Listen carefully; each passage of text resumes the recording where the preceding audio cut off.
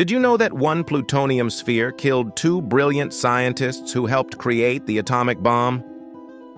August 21, 1945. Los Alamos physicist Harry Daghlian was working alone late at night. He was building neutron reflector towers around a plutonium core for routine experiments. Then, disaster struck.